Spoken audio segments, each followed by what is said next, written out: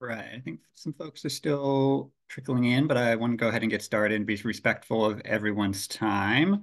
So I wanted to thank everyone for joining us here today. First, I just want to start off with a few lo logistical notes. Um, the chat is not on, but we do have the live Q&A function that will be available throughout the presentation. We are going to hold off on probably answering the questions live until the session at the very end. But if the questions come up throughout the presentation, you can go ahead and ask questions through that Q&A function. Uh, we'll be monitoring it, just probably holding off and answering it until the very end in case some of the questions get answered as they come up. Um, but feel free to ask that. And then if you have a logistical issue that comes up or technical issue you're dealing with, you can ask it in that Q&A function as well. Um, we're also, if some of your questions are not answered at the very, by the end of the, um, of the webinar, I'll be sending a follow-up email with my contact information and any questions that are not answered, then you can reach out to me directly and we'll make sure that everything, um, there's a follow-up um, in the coming weeks. And then with that, we'll go ahead and get started. My name is Josh Dubensky, he, him pronouns. I work for on housing policy for SAGE. Uh, SAGE is one of the country's oldest and largest organizations dedicated to improving the lives of LGBTQ plus older adults. Our goal is to ensure that all aging services, regardless of where an individual chooses to live, are safe and affirming for LGBTQ plus older adults. For too long, the public and policymakers have failed to incorporate the needs of the LGBTQ plus community when discussing aging policy. And this includes access to safe and affordable housing. We know that LGBTQ plus older adults experience disproportionate rates of financial insecurity when compared to their non-LGBTQ plus counterparts. With widespread financial insecurity in the LGBTQ plus older adult community, the rising cost of housing across the country presents a significant barrier to accessing housing. And LGBTQ plus older adults experience housing discrimination that keeps them from accessing and seeking out available housing services with many feeling it is safer to hide who they are when seeking somewhere to live. Almost 50% of same-sex presenting couples have been discriminated against when seeking out housing with landlords or homeowners. Long-term data is difficult to find, but this problem persists even with the historic decision to expand the protections of the Fair Housing Act to protect against discrimination based on sexual orientation and gender identity. Members of the community still face housing discrimination at an alarming rate, but many will also choose not to report discrimination for fear of retaliation or a belief the government will not support them. That is why strengthening relationships and building trust between the community and allies in government is so important. There may be historic gridlock on Capitol Hill. However, there are many programs that already exist that while they may not have been created specifically for the LGBTQ plus community, could still have a tremendous impact but understanding the many different grants, how they can be used, who is eligible to receive them, and how a local community organization could become involved can be overwhelming. We don't have time today to go through every federal agency and potential grant or program that is underutilized by the LGBTQ plus community, but we are lucky to be joined today by staff from the Department of Housing and Urban Development's Office of Community Planning and Development. Under the Biden administration, the Department of Housing and Urban Development, also known as HUD, has been taking steps to improve housing policy for the LGBTQ plus community. We thank the Office of Community Planning and Development's willingness to be here today in order to talk about the important work they do, walk through how the various programs they oversee impact communities, and discuss opportunities for organizations and advocates to take in order to become involved and have a hand in the process. So again, thank you all for being here today. And with that, I will turn it over to Beth. Hi, everyone. Thanks so much for joining us today. We're really excited to talk to you about the Office of Block Grant Programs, as well as our other programs known as CDBG Home, CDBG CV, and others. We have a variety of activities that can be used to help the folks that you serve. More importantly, we also want to be able to talk to you about while we're in DC, we want to say to you, how can you access that funding at the local level and also learn how decisions are made at the local level about how that funding is made available as well. I'm going to stop talking now about the why we're going to do this and turn it over and get into the actual details. I'd like to turn the presentation over to our two presenters today, Nadia Ford and also Rachel Keyes. Awesome. Thanks, Beth. Um, Nadia, I will let you share your screen as you're working on getting that pulled up. Um, hi, everybody. Uh, so pleased to that we could join you today. My name is Rachel Keyes, and as Beth said, I work um, in the Office of the Deputy Assistant Secretary for Grant Programs um, in the Office of Community Planning and Development at HUD.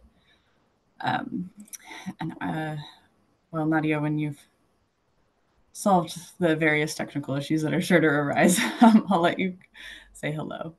Um, and I use she, her pronouns. Hi, everyone. My name is Nadia Ford, and I work alongside Beth and Rachel. I'm really excited to be here uh, speaking with all of you today, and I can't wait to dive into all of these details. Awesome.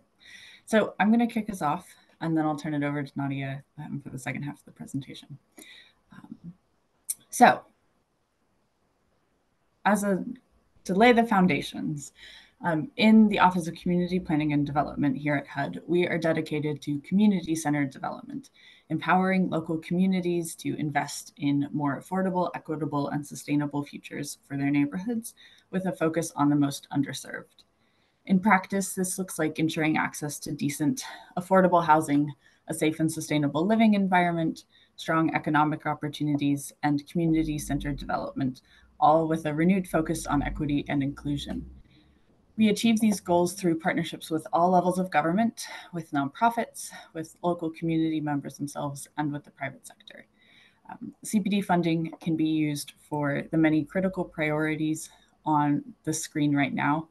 Um, and our office, the Office for Grant Programs, oversees several of the funding streams that can support the population you work closely with um, as part of community, community development priorities on a large scale. Yeah. So if you go to the next screen, Nadia, next slide, thank you. So before we dive into the funding streams themselves, here we have an overview of how the funding in our office moves from HUD to your local community. So each year, uh, Congress appropriates funding for our annual grant programs, and in certain instances, like some of the grants that we'll talk about today, special funding that comes um, for example, we saw a lot of new one-time funding during the pandemic, obviously, um, to aid with uh, response and recovery. So within CPD, most of our funding streams and all that we're touching on today are allocated or distributed by a formula to states, to urban counties, and to metropolitan cities.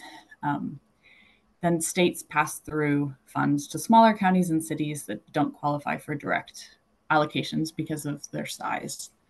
Um, from there, the grant recipients, again, those cities and counties, um, can either directly carry out programs themselves or they can partner with sub-recipients to help administer programs. So sub-recipients can be other public agencies that um, didn't receive the grant directly from HUD, um, a public, public or private nonprofit organization, a community-based development organization, or in some cases a for-profit entity as well. Um, and we know that local organizations play a really important role in helping CPD funds benefit communities. You not only have the specialized expertise and capacity to carry out programs that have that can have the greatest impact on the target population, but you have a deep knowledge of and already strong relationships with the people you serve, which is really critical, um, especially when serving populations that haven't always been part of um, and welcomed into these processes. So the first of these funding streams we're talking about today is the Community Development Block Grant, or CDBG program. CDBG provides flexible formula grant funding to states, urban counties, cities, and insular areas, which you like think of the territories, um, Guam, Northern Mariana Islands. Um, this is for a wide variety of community community development priorities. When I say wide variety, I mean it grantees can determine which of the 26 different eligible activities they'll fund to meet local needs. We'll get into that in a minute, but is quite a wide range of, of um, activities that folks can carry out under CDBG to help meet local need. Um, the activities must meet, however, one of the three national objectives of the program. The one that's most commonly used and most pertinent to our conversation here today is the is benefit to low and moderate income persons, which is um, yeah most often used across CDBG.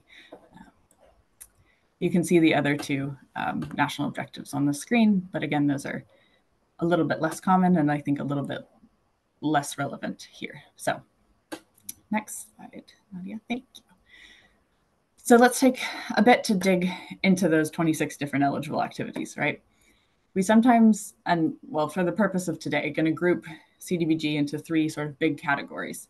housing and real property activities, economic and public infrastructure activities, um, and public service activities. So, although new construction of housing is generally not an eligible activity under the CDBG program, there are a number of ways that CDBG can support safe, secure housing and continued continued home ownership, um, including for older adults who are hoping to age in place or looking for uh, an affordable home. So CDBG can be used for homeownership activities like down payment assistance or closing cost. Another really big activity here under this bucket is housing rehab. Um, this can be full house rehab, spot house, spot rehab, or emergency repair services. This could be programs for accessibility, like installing ramps or grab bars, grab bars for mobility, or emergency repairs, again for situations like a leaking roof.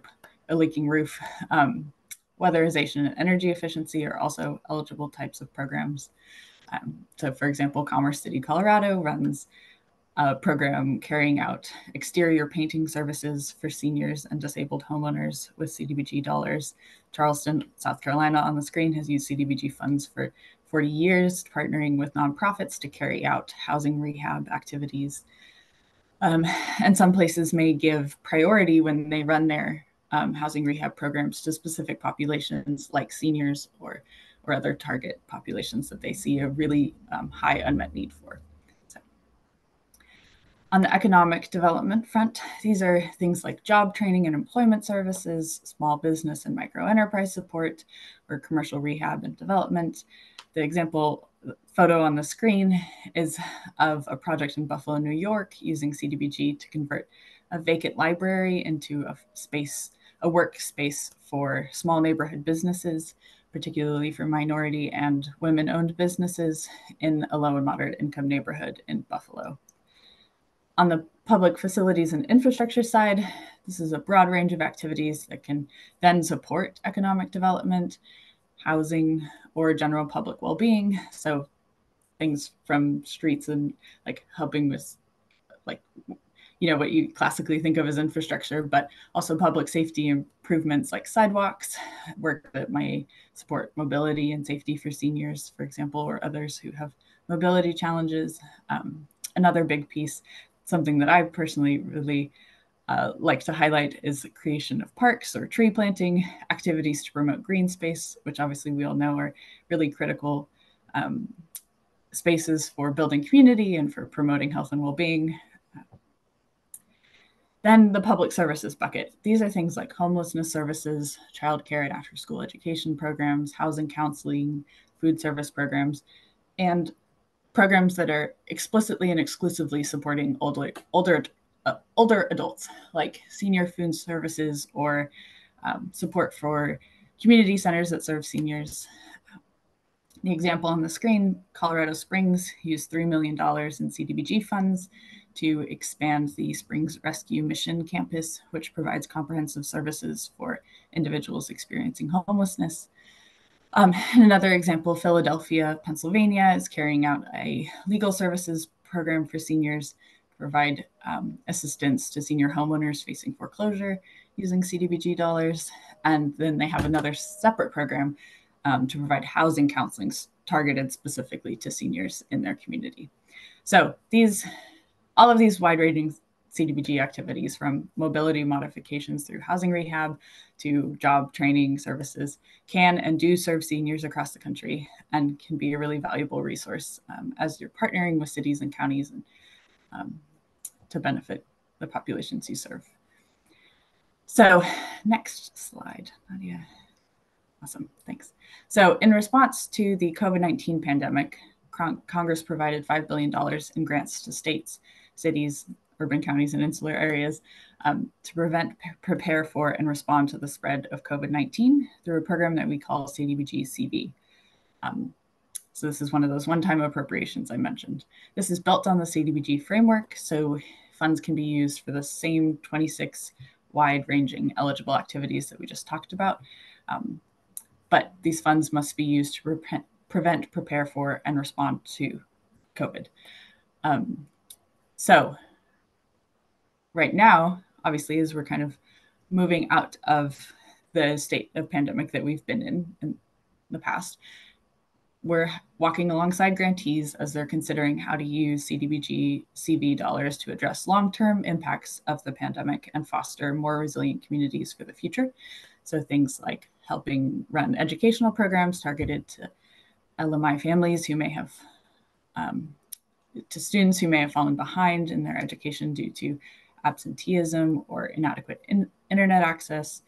Um, on that, broadband infrastructure projects, um, also activities like housing counseling or credit repair services to folks who's may have lost income during the pandemic pandemic and um, had their rental history negatively impacted those sort of activities so this is still um, a funding source that is very much present in communities and, and grantees are looking for creative ways to expend funds right now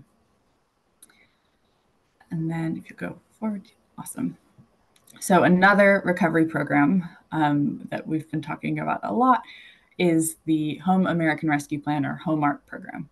So this is $5 billion to HUD for homelessness assistance and supportive services programs. They went to 651 states, counties, and cities. Um, Home ARP funds can be used for four eligible activities you'll see on the screen rental housing development or preservation, tenant based rental assistance, non congregate shelter, and supportive services. So, what do, what do these eligible activities mean? Rental housing, fairly clear and straightforward to think building new rental housing or preserving existing.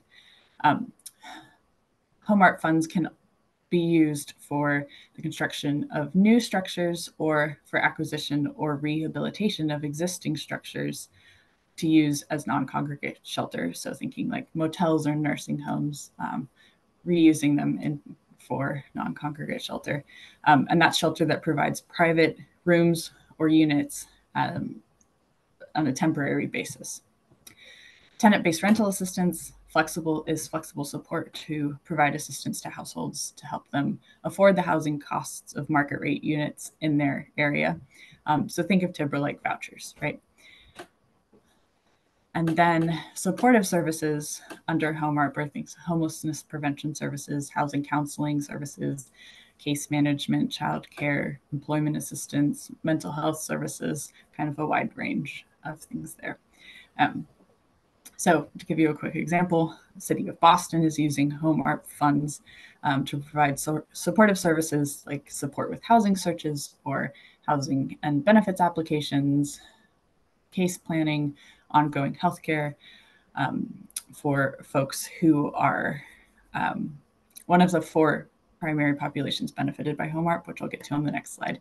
Um, they're also extending some of some rental assistance programs with through the home ARP tenant-based rental assistance uh, funding. So on the next slide, these home ARP funds have to primarily benefit for specific populations per the law that authorized the funding. So those populations are on the screen. Um, again, persons experiencing homelessness, those at risk of homelessness, those fleeing or attempting to flee domestic violence, dating violence, sexual violence, stalking, or human trafficking, and other populations requiring services or housing assistance to prevent them from becoming homeless or those who are at a great risk of housing instability. So, home ARP funds have to specifically aid one of these populations. Um, so now I'm going to turn it over to Nadia to take all this high level overview programs and kind of help make it concrete for through more examples um, and then more information on how you can get involved and get access to funding. Thank you very much, Rachel. All right, continuing from a few of the examples that Rachel was giving, I'm going to dive into a few more examples and then take a hands-on approach and show you all how to find if there's funding in your community. To begin, on this slide, you'll see examples of funding that directly support seniors from building affordable apartments to providing stronger infrastructure to a wellness center, CDBG and home funds make a strong impact in communities.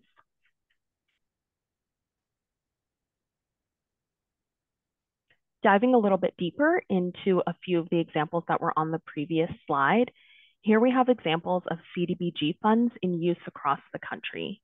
In Fayetteville, funds were used for kitchen improvements in the Senior Activity and Wellness Center, helping the center continue to provide meals to homebound seniors.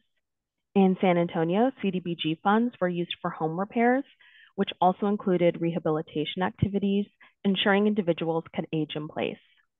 And in Oceanside, CDBG funds were used to provide nutritional meals to homebound seniors.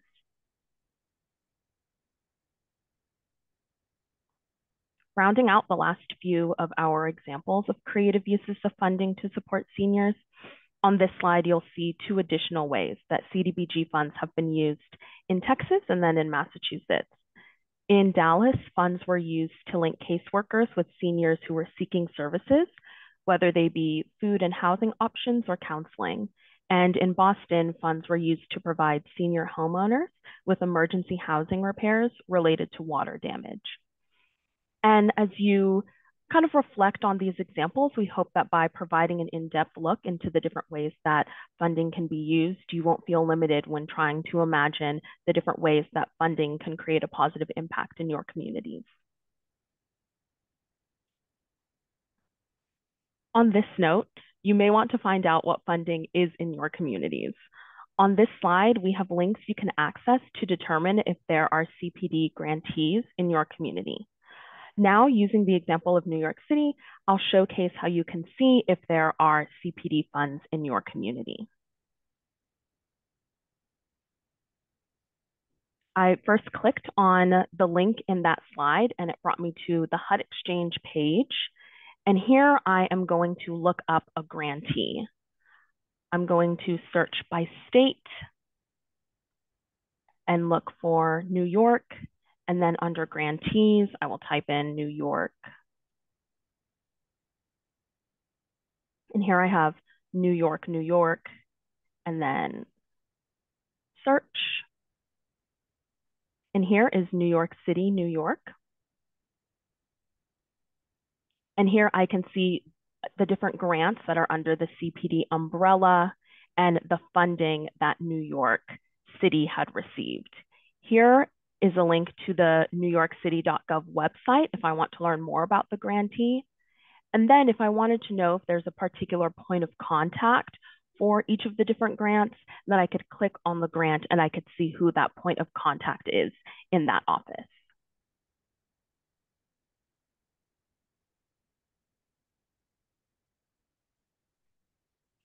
And here on this slide, you can see what we just went through where we searched by state, we looked up New York City, and then we were able to find the point of contact for the CDBG grant.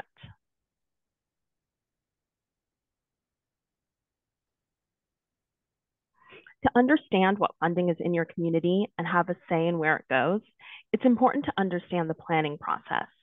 For CDBG, for example, grantees are required to submit a consolidated plan an annual action plan, and a consolidated annual performance and evaluation report, or a CAPER. The consolidated plan is the three to five year strategic plan, which outlines the intentions for funds and consultation and citizen participation, which we'll get into in a second. It is intended to be used as a tool to assess affordable housing and community development needs through public input and market analysis. The annual action plan is the proposal for what the funds will do that year. And the CAPER is the Consolidated Plan Annual Performance Report, which at the end of the year, grantees are required to submit. And it details how they spent their federal funds and whether or not they met their goals set forth in the Consolidated Plan and the Annual Action Plan for that year. Citizen participation comes into play in the consolidated and annual planning processes and consultation occurs with stakeholders and nonprofits for plan creators to be able to connect with experts on topics and then guide their planning.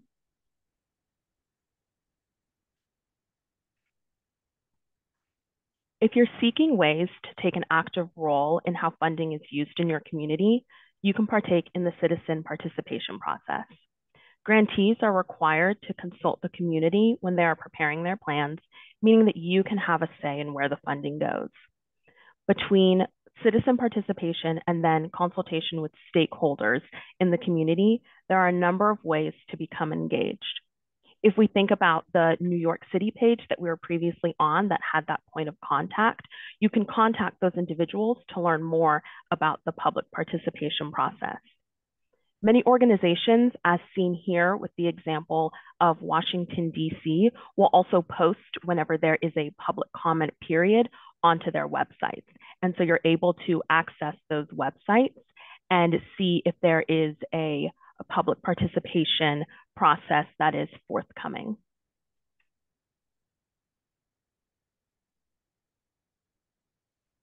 Diving a little bit more into what public participation and consultation mean, on this screen is text pulled directly from the New York City 2021 to 2025 Consolidated Plan.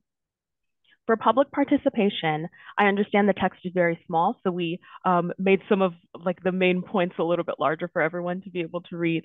Um, members of the community were notified via, via email and mail notification, public meetings, which were virtual and in person, as well as a public comment period um, for the opportunity for them to be able to provide input on the consolidated plan. Along with that, what New York City puts into their consolidated plan is an explanation of the consultations that they did with different stakeholders and nonprofits in the area.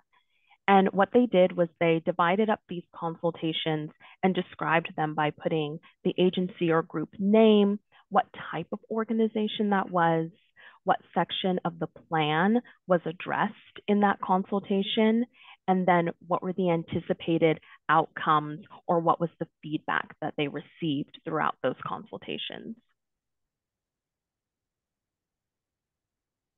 Here we have a few screenshots which I will go through to show everyone a live example of how you can access these consolidated plans on the HUD Exchange website. And then we'll also show if you're trying to look these up on your own, where you could find the more recent plans. So going back to CDBG, and here we have that point of contact. When I scroll to the bottom, I can view the list of HUD grantee reports. And then from there, I'm going to go to consolidated plans, annual action plans, and CAPERS, which I just discussed. And once I click on consolidated plans, I'll be taken to a different website. And here I'm going to look up the New York City consolidated plan that I had referenced in the screenshots on the previous slide. So I will choose a state.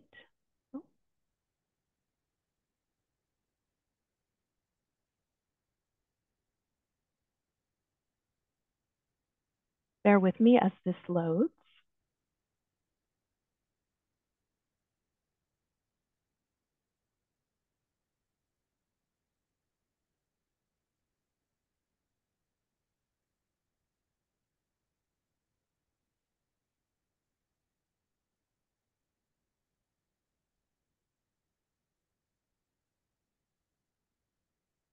I'll wait a few more seconds and then walk through the screenshots if this does not load for everyone.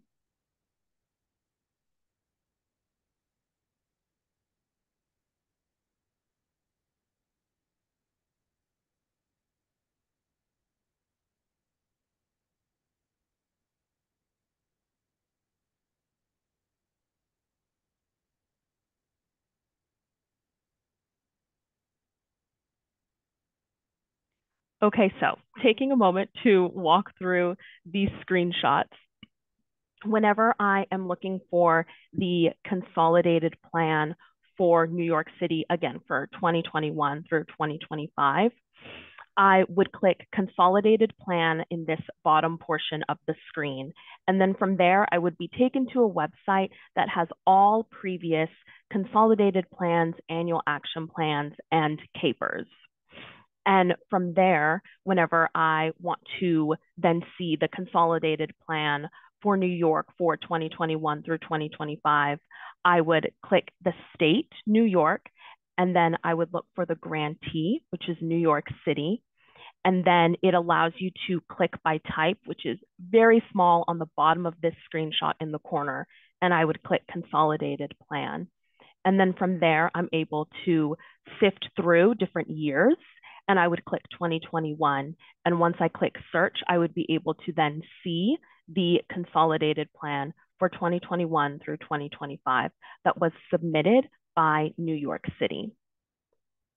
And if I wanted to see on the New York website itself what this consolidated plan looks like, then on my own, I would search for the, let's say, New York City NYC consolidated plan and then public comment. As you can see, this is something I've looked up many times.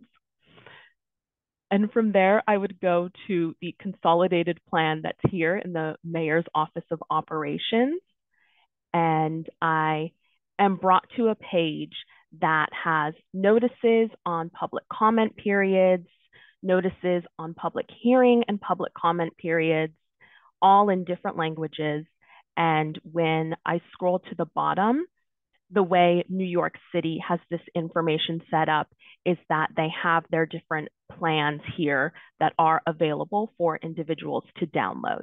So if you didn't want to go through the HUD website and you're trying to look up, um, again, if you are from New York City, you're trying to look up whether there's a public comment period coming up or you want to know about the annual action plan that was submitted by New York City for 2023, then you can type in what I did into the Google search, which was New York City Consolidated Plan Public Comment, and you would be brought to this page where you could scroll and find, for example, the 2023 Annual Action Plan. And we show these examples to show that whether you're going through your communities um, official landing pages or you're going through the HUD channel, that these documents are available to the public and they are there at your disposal to read through and to understand what's happening in your community. And we hope that through listening to these examples, you're able to find that information.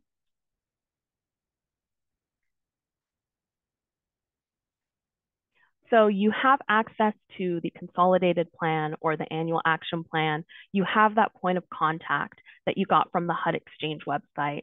And now maybe you're trying to think about what kind of questions you could ask grantees of HUD funds.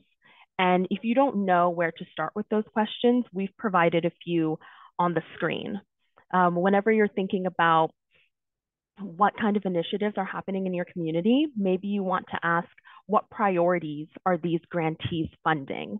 Sometimes the consolidated plans um, have very technical language and maybe it's not easy for someone to understand. And in that case, you can reach out to the point of contact that you have and ask them, what are the priorities that you're funding? Why are you funding these priorities?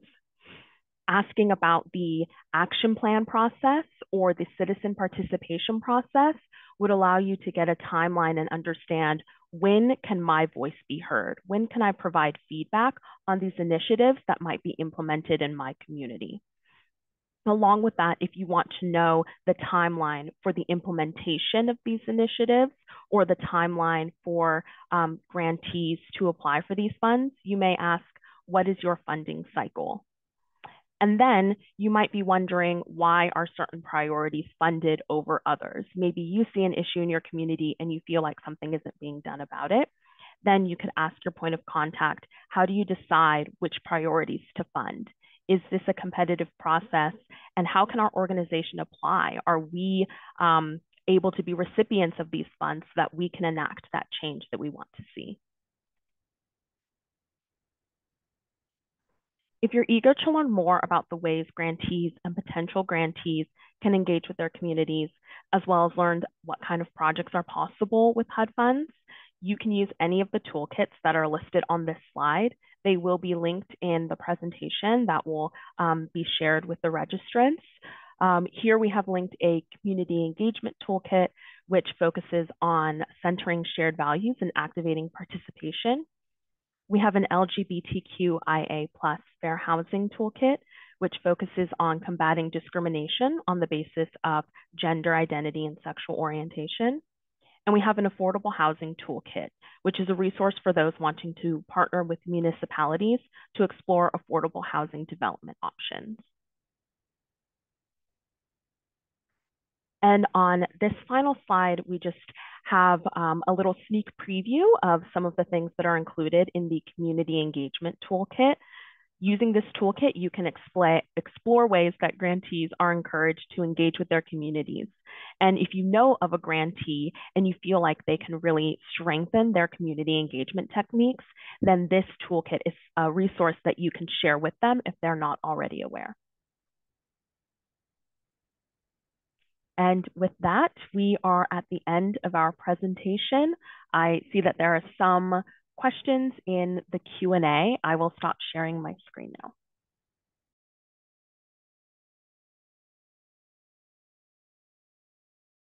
Okay, everyone. I see that some questions came into the Q&A, and I'm going to be your friendly moderator moderator for this portion. Uh, big question that came out through these questions in the chat was, will we get a copy of this PowerPoint deck? And the answer is yes.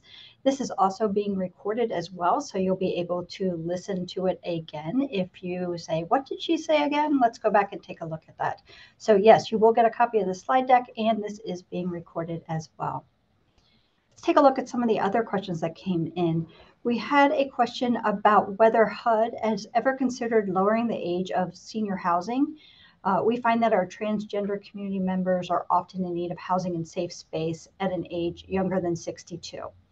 That's a little bit of a two-part question. The good news is I can get you to yes, and here's how. Some of our funding sources here at HUD do require a age of 62 because our regulations are written that way for some of our programs. And I hate to tell you this, don't shoot the messenger, but 62 is our definitions is considered elderly. Many of us would not agree with that, but that's the regulatory definition that's out there, very, very old. However, with our programs that we've just talked to you about, CDBG, home, others, while we do classify elderly or senior at 62, your community could decide to build housing or provide rental assistance or do other supportive services for folks that are under 62 and still consider them seniors all they have to do is make sure one, they meet that income eligibility component of are they low or moderate income, and two, they've described it in their action plan about who they're serving and why they're making it larger than just the 62 piece. So we can do some form of housing with the funding that comes out of our office, CPD, that doesn't have to be just 62 and older. We can do that lower age limit as well. Um, another question that came up was, can you define insular areas? That is pretty clear about, it's about island areas. So we're talking about Guam, we're talking about Hawaii and the islands, we're talking about uh, Puerto Rico. Those are our insular areas. Insular areas for HUD also receive their own allocations separate and apart. And so you, if you happen to be representing clients from that area, you'd want to be able to look up that funding level and reach out to that local decision maker. I love the questions back to back. One of them it says, uh, I live in a county of 250,000 people, over 10,000 square miles. Our town is a county seat and we have 50,000 people. Can you identify me, for me where we fit in the funding? And then Billy Rogers right after that said, what about rural communities? This is great. So if you have a population of 250,000 and there are a couple of other components, HUD reaches out to those communities and says, do you want to become an entitlement and get your own CDBG allocation? And if that local government decides, yes, they do, then they would be in that database search that Nadia just went through with you to be able to find not only them, but their allocation and the type of money they receive. If they either decide, nope, we're not quite big enough yet, we don't want to take that on, or I'm smaller than that 250, such as a rural community. In that case, I can still re-access those dollars. You're just going to go to your state and be able to ask for that, what's going on, and look at that action plan at the state level. A little bit of difference with the states. If you're going to the state to say, hey, I heard you have resources and I'd like to use some of your CDBG, your CDBG CV, or your HOME-ARP dollars for my clients and my organization, you want to know that states do something called a method of distribution. And in that plan that they've written, that consolidated plan and that annual action plan, they're going to say to you, we as a state have decided to prioritize these areas that don't already get their own allocation. What does that mean? We are going to prioritize those rural areas that don't get their own allocation. So if you happen to be in one of those, that's a great spot to go up to the state, take a look at their action plan, see if there's a fit there. Um, I'm looking. Uh, we have a question about with the development of an ADU with an existing home be considered under the conversion adaptive reuse. So conversion for us, it tends to be something like an existing building that gets turned into housing. So it could be a school, it could be a library, it could be an office building, something you probably hear a lot in the news right now. Adaptive reuse, that could be an ADU as well. If it happens to be, you know, is there a structure there? We're big on ADUs. We want to talk to you more about that. We have lots of guides out there on that issue as well. Um, is there a way to specifically which LB, LGBT plus orgs are being funded through a HUD plan? Well, we could do a data search, but at the end of the day, because it's a local decision level, we'd have to kind of do a search based on did they list the nonprofit group or did they list the activity? It would be a little hard for us, but we could do a bit of digging come back some, with some examples for you if that's of value. And we'll follow up with SAGE about whether that's an ask you want to do. Um, we have another question. Does funding for homeless services include creating new facilities for temporary or transitional housing, such as LGBTQ plus youth? Yes. Barry, we love that question. So funding is there. You could consider either CDBG. We could also look from the transitional housing point of view. We could look at something around the home money as well as HOME-ARP. There are eligible uses for all of those to do either sheltering or more permanent housing as well as permanent supportive housing. Uh, we have a question about would any part of these funds be appropriate for a national LGBTQ social organization to apply for? Well, Charles, that's a great question, but it's a little bit more difficult. Local governments and states make their own funding decisions, and they need to be able to make sure those resources are being used for those community groups. So, in that case, you'd want to make sure you would not be able to apply for national dollars to be national place. You'd be applying to many different local groups. And I will tell you generally, our grantees like to work with the grassroots groups that they're dealing with every single day in those communities as well. Not saying no, just saying a little bit of a harder lift. Um, and I think I am getting to, oh, I'm sorry, I got a question. Uh, I might want to define what an ADU is. And an ADU means accessory dwelling unit. So if you think about those granny flats that might be happening in the backyard of houses, it's a popular new way of looking at housing um, particularly around affordable housing for our most vulnerable folks. Um, and I have a question about, sorry, my screen moves every time a question comes in. Can you talk a little bit about how developers working on LGBTQ plus elder housing who receive HUD funding are working with fair housing laws? Does HUD fund any culturally specific housing projects? Um, I'm going to have to get back to you about whether we fund any culturally specific housing projects because I don't have any, off the top of my head unless Beth, Nadia. I can jump in for a minute if you'd like. Um, but yeah, SAGE works around um, the culturally specific housing. Um, and this, this goes into the questions, the fair housing laws. Um, we don't go and create anything that is exclusive housing, but funding does allow creating the housing that is open and accepting to all sexual orientations and gender identity. So you can create LGBTQ elder housing that is kind of LGBTQ forward, that is constru constructed under the plan to create a welcoming a welcoming space for the community um, that has strong non-discrimination protections, that has strong um, ties to, let's say, a local not LGBTQ community center. Uh, it just has to be open for anyone who to apply, regardless of how they identify with sexual orientation or gender identity. As long as they're meeting the income requirements or age requirements, um, then they can be eligible for HUD funding. Just as long as long as you're not creating ex exclusive housing, but this housing is inclusive for all sexual orientations and gender identity. And we've seen a lot of success with that type of housing that goes through. Thank you, Josh. Thank you for helping me clarify that answer. I do want to also do a plug. HUD is going to be coming out with a new affirmatively furthering fair housing rule, uh, hopefully sometime in this spring timeline uh, we're hoping that prior to this, you were able to comment when it went out for public comment. And I think you're going to see stronger enforcement of making sure that more HUD housing is open and available to all.